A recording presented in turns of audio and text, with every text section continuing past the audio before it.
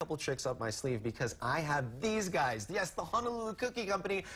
To be honest with you, for my friends overseas, especially my friends over in Japan, I've already taken care of the boxes and got them their gifts. Now, I always love this because they're a big hit, friends and family, and as soon as you get this wherever you are across the world, you know it's from Hawaii. You know what I mean? It's the packaging, it's the gifts, and especially love their popular flavors. Now, the Peppermint Mini Bites brought back by popular demand, and yes, Trini and I enjoy them very, very much. They're already gone. They gave us one tin in the office, and it's completely gone. But that's the great thing about it, the keepsake boxes. I know my son, he used as a few of them from last year as their pencil boxes for all his pencils and crayons. But that's the great thing about this gift, that the gift that keeps on giving. Again, there's seasonal flavors, peppermint, ginger spice, pumpkin. You gotta get them before they sell out. Yeah, this is really good. And again, literally, my son has about three of them in the house, and it's with crayons, pencils, and that. And again, he always knows it's from Honolulu Cookie yeah, Company last Multifunctional, year. there you go. Can't go wrong. I'm gonna eat these during the break. Okay.